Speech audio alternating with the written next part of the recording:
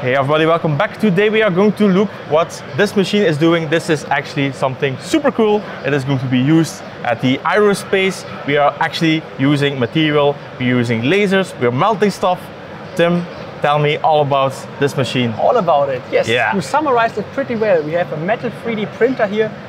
It works in principle similar to an FDM printer in the sense that we are emitting met metal tracks out of our nozzle and by moving our process head we can print from the tracks surfaces and from uh, layers and from the layers volumes. What's happening here, we have a laser coming vertically downwards Yeah. and powder getting blown out of the nozzle in a cone shape focused into the laser spot. Okay, so instead of filament that's getting molten through the nozzle, you're adding it on the side and the laser is just That's slamming it, it, on the previous layer. Exactly. Then we move around and out come these yeah, big volume parts that we can print on our machine here. So for this machine, how big can you actually go? We can do 900 millimeter times 700 times 700, so That's uh, quite a big pretty machine, tall boy, actually. Yes, yeah. exactly.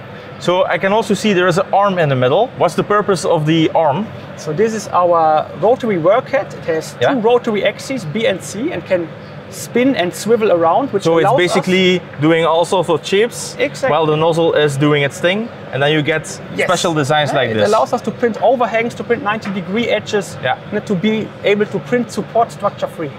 Ah, okay. So instead of using support, you're Exactly. just tilting the uh, material, and you do it that way. Correct. So it's much more efficient. Yes. Cool. Now, big question that people are probably going to have: the price. Yeah. Price. Um, we are speaking of a price range starting from 700,000 euros up to 1.4 million euros, depending on the configuration. You Yeah. have many options to choose from, many additional modules to put in here, but that's then the, the range Yeah. which So this puppy is staying here. now, I already told you it's probably going to get used a lot for the uh, aerospace, the shuttles. What is the other case that we can use it for? Is it also used for car parts or other things? So in general, it's about repairing parts, modifying parts, and applying functional coatings.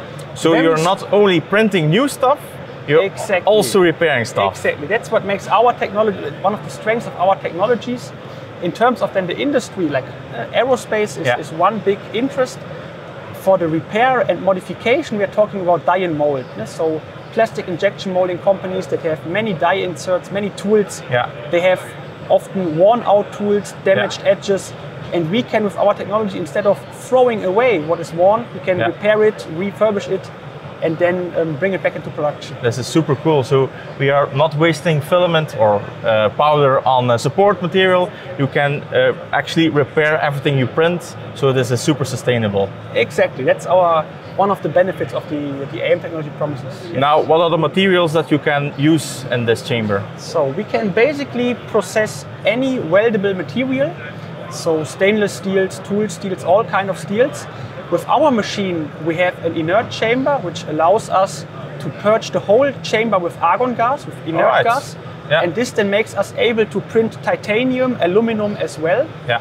Where it gets well, possible are also copper alloys, but printing pure copper that's challenging on our machines. Yeah. So it's probably going to be a blend, uh, a copper blend instead of Exactly, pure copper. Yeah. So you're just purging all the air out of the system, replacing it with a gas that is not going to react with the just welded surface. Yes, correct. So you get a more pure outcome out of this machine. Exactly. Super cool. Now, uh, Makino, where are you from? Are you a German company? We are not a German company. We are from Japan. Um, Makino, a global milling machine company with, let's say, core business milling and um, Yeah. electrical discharge machining. And our Makino Asia branch, located in Singapore, has started developing our AM machines two years ago. So the production and development of these machines comes from Singapore. It is really cool to see that you are using stuff we can see at uh, automated CNC milling. So we can see a door sliding out, we can see a tool changing going on. So this is a full hands-off experience right now. Just push a button and you can let it go. Am I That's right? true. That's true. Our machine, one of the unique features of our technology here is that we have automated all steps of the process setup, which means the machine operator must just press one button, the machine calibrates itself, it configures itself, and Yeah. there is no more manual tweaking around, Yeah. no more manual calibration required. How do you deal with failed prints, let's call it? If a print fails, that can happen. There is, it is possible in some cases to recover it. Yeah. You can recover it by milling away the defect, the location where it failed. So you take it out of our AM machine, bring Yeah. it to our milling machine. You mill away the defect, then you can continue add new material, recover the damaged Right. location, and that's yeah one way of, for us to, to Because I can imagine that if, because some sort of reason, the nozzle or the the way the, the powder is reaching the laser, if it clogs up, then you have a big problem. That's true, but that's let's say where on this machine our automation features come into play. We are able to detect the nozzle condition to see if it is getting dirty, if it is getting clogged, Okay. if it has a defect. And if it has a defect, we have an automated tool changer Yeah. To replace the nozzles. So before it really comes to a defect that is Yeah. not repairable, we just replace the nozzle and continue All with right. fresh nozzle. so you have covered all bases That's to get our, it as successful our as possible. Our, our vision Yeah. to be able to fully automate this and make Yeah. this robust, documented, and foolproof. Yeah. Are you using some kind of a camera system to Yes. check things? Yes, we have a lot of integrated sensors. We have a camera to measure the, to monitor the laser spot, the melt pool in the process. Wow. We have a pyrometer to measure the melt pool temperature. We have sensors to measure the powder mass flow, the shielding gas. So basically everything here is monitored. It Yeah. gets logged by our machine, gets moni- uh, gets reported.